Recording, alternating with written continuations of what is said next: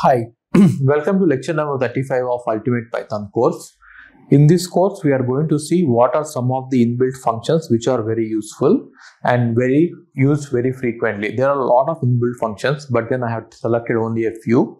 They will be used uh, uh, very frequently. Okay. So, huh, please don't take the notes. Slides are given in the description and watch my videos at 2x speed. So, what are the Python built-in methods are? okay. They, we are going to classify the building machine methods into two types. One is utility functions and other is iterable utilities. Okay. So utility functions are sorted reversed all any min max sum.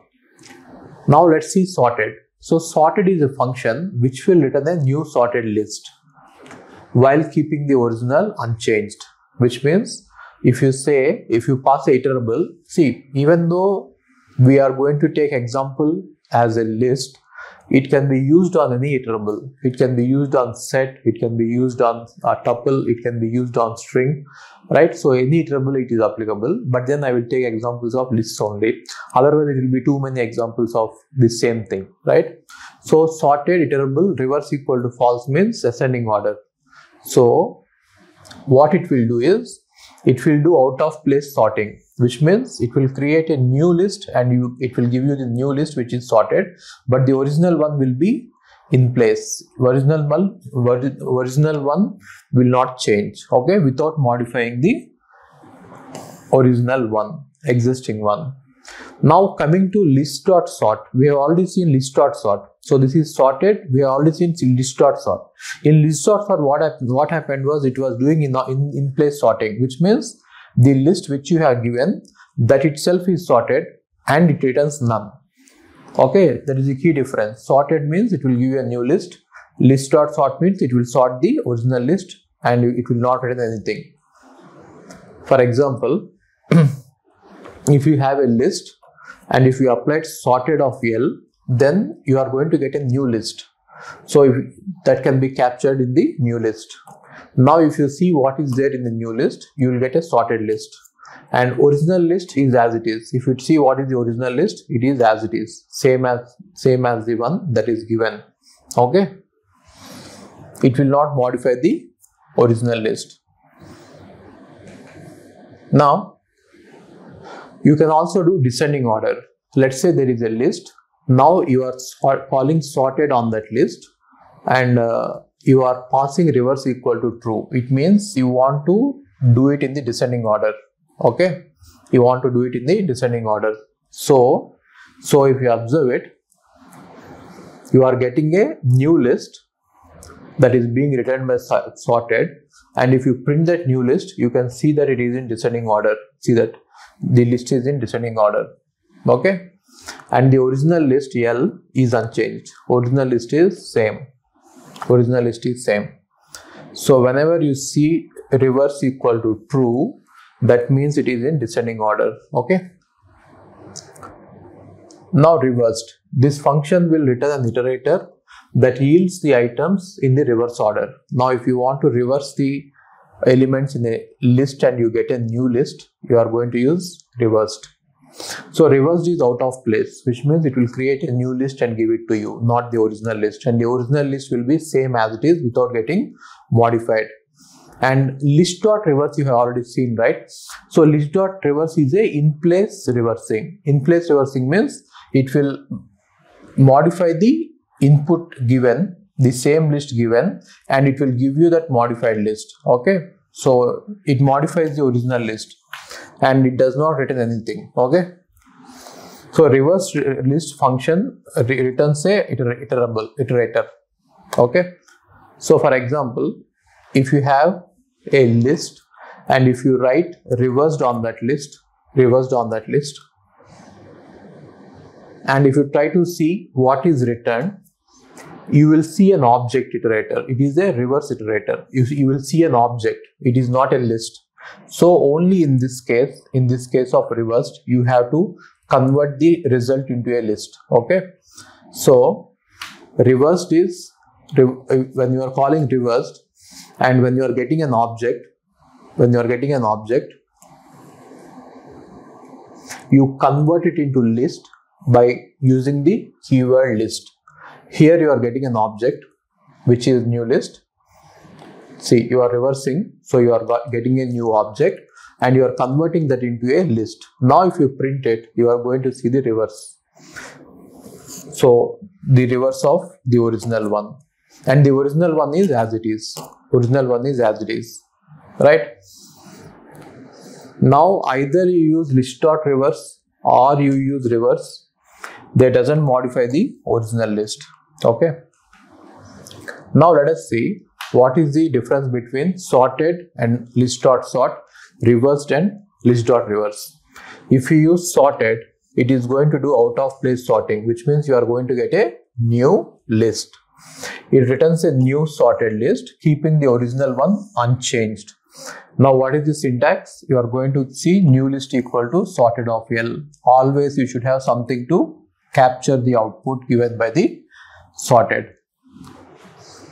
Now, list dot sort, list dot sort is a in-place sorting, which means it will sort the given list and it will sort it in place and it will return none. It will not return anything. It will return none. Now, L dot sort, you need not capture the return type. Return type is none here. So L itself is modified. So you don't have to capture it. You can directly write L dot sort. Now reversed. So reversed will do out of place sorting and it will give an iterator. Now you have to convert that iterator into a list. Okay. So see this syntax. Reversed of L is going to give you an object. Now convert it into a list, then capture it somewhere. A list is captured. Okay. List dot reverse. So it is in place reversing, which means the same list that you have given is reversed. It reverses it reverses the list in place and the syntax is L dot reverse. Okay, so you need not capture the return type because the original list itself is modified. Okay.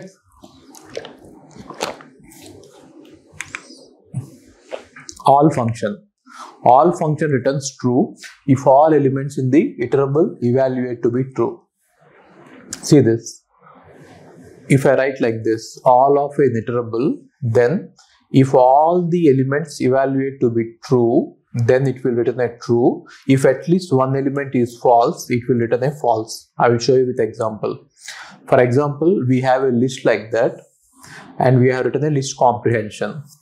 For each number in the gate scores, which means in this list, in this list, that number has to be greater than 50 for each number in the gate score, number has to be greater than 50. If all of them pass this test, then it will return true. All of them are greater than 50, therefore all of them pass the test. So whenever all of them pass the test, we are going to get a value true. We are getting true since all the elements are greater than 50, right? Now look at this example. So number should be greater than 50 for all numbers in the gate scores, which means for each number in the gate score, that number should be greater than 50. Now, if you observe it, this is greater than 50, greater than 50, greater than 50, greater than 50, but this is not greater than 50. Even if one element fails, you are going to get a false with all. Now, if you pass a empty list to all, it will return a true because an empty list returns a true because there are no elements that evaluate to false. There are there are no elements which will generate false. Therefore it is obviously true. Any function any function returns true if at least one element in the iterable evaluates to be true. Okay? So syntax is any of the iterable. So let's see this. If at least one of them is true then all will return true. Uh, if at least one element is true then any any will return true okay? So now see this. For all numbers in gate score for all numbers in gate score they have to be greater than 75 so clearly 91 is there which is greater than 75 therefore it will return true. 91 is there which is greater than 75 therefore it will return true Now in this case, in this case, all the numbers should be greater than 95. For all numbers in gate score, list comprehension, for all numbers in gate score, number is greater than 95. Now, none of the numbers are greater than 95. Therefore, there is not even one number which satisfies this condition. Therefore, any will return false. Now, when you are passing an empty list, when you are passing an empty list, it will return false to any. When you are passing an empty list to false to any, it will return false. Why is it returning false? Because the reason is an empty list returns false because there are no elements that evaluate to true. So there is no element that evaluates to be true. That is why it is giving you false, right? Min function. Min you already know, right? So it will give you the smallest element. For example, if I write give a list and if I give apply min, it will give me the minimum element, which is 5 in this case. Now, if you give min, if you give a empty list to min, it will give you an error saying that argument is empty sequence. Now, in, in while giving min, you cannot combine integers and strings. You can have only strings or you can have only integers, but you cannot combine integers and strings because they are not comparable. You cannot compare a with the integer, right? So what is it? Less than not supported between instances of string and integer. Okay. Max. Now max function will give you max of the iterable. So if you apply max, then you are going to see the max value which is 100. Now if you apply max on empty list, it will give you error. Now if you try to compare numbers and strings, it will not work because it will say that greater than symbol not supported between instances of string and integer. Okay. So even though I am using lists in all the examples, you can also use a tuple or you can also use a set in this, okay, or a string. You can, uh, you can work with all of them as long as they are iterables. Now sorting. Sorting happens between, okay, now these are the interview questions. So one interview question is, can sorting happen between these elements? 1, 2 and A. What is your answer? Sorting does not happen because less than is not supported. So sorting does not, L dot sort does not happen. Now, will reverse happen on these elements? Yes, reverse can happen. For reverse, you can have elements as integers and strings and any combination of that. Okay. So guys, it is hell a lot of effort from our side. If possible, like it. If possible, share it. If possible, subscribe to the channel. Only if possible and if it is not too much pain, talk about it to your friends and grow the channel please. Thank you. If you want to take my GATE classes, we go to the website ravindrababuravula.in and you are going to see all my gate classes available there okay so coming to the classes they are all recorded why am i doing recorded why am i not doing live classes is i have thousands of students registering for my courses every year but then if i conduct a live class only 20 or 30 people will be there. 20 or 30 that's it. Maximum is 40 i had. The reason is live classes are little bit wasting your time. See you cannot watch a live class at 2x speed. You have to watch at the pace at which i teach. Generally i will be very very slow while teaching so if you can go through the live classes you can watch them at 2x speed and you can complete the syllabus very fast. 400 plus hours content is there for gate. And if you are going to watch them at normal pace it will take 400 hours. But if you watch it at 2x speed it will take just 200 hours right? So if you want any of my gate classes gate computer science or gate da the price is just 10000 rupees. It is very very reasonable for the kind of quality we provide we have test series we have doubt sessions we have videos we have lecture notes for every even you don't have to write any lecture notes i will provide you lecture notes for every subject you just have to sit back, watch the videos at 2x speed and revise the notes. Short notes will be provided, long notes will be provided, formulas will be written in the separate notes.